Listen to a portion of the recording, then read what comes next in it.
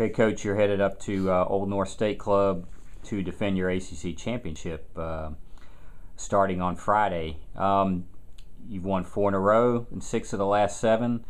Uh, obviously, other teams, Duke and Florida State included, uh, probably gunning for you. What's the mindset as you go? Well, you know, hopefully they're they're chasing us, and we're just going to go play the golf course. Um, you know, we're fortunate. The Golf Club of Georgia is a lot like Old North State, so I think from a condition standpoint, we'll be ready for that. And uh, the guys have worked hard. You know, this is kind of get to where the end of the year, and um, things matter more. People remember things more than they do during the year. So uh, I think they're excited and ready to go. And the key is just not to to make too big a deal out of it. Do the guys on the team talk about the four in the row and the six out of seven, and you know maintaining that tradition of Georgia Tech golf winning the ACC championship. How big a deal is that to them? If, if they do, they don't do it when I'm around. Mm-hmm. Um, but I, am sure they're aware. Uh, everybody understands it, so they may do it when I'm not there. But I, I know it means a lot to everybody. And uh, again, like I say, you just try not to talk too much about it, and you just got to go play the golf course.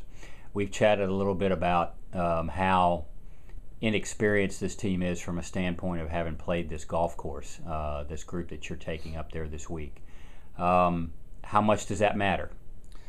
Well, what you hope is the, the guys who've been there are telling the, the new guys that are going there that you know that we always play well there, and get them thinking in that direction. And um, you know, obviously, probably more critical to have a good practice round from um, for the younger guys to kind of know where they're going where the, the others who've been kind of know their way around there. So that's probably a, a you know a very critical day for us. But um, you know, I'll just go with the old adage: the ball doesn't know how old you are, and um, and go from there. Does it? Uh, the fact that the tournament has been played there the last I don't know dozen years or so, that wealth of knowledge that you carry, and you know from having been on that golf course so many years, how big of an advantage is that, uh, or does it really even matter? Um, ho- well, hopefully it does, or we could get somebody else to take them.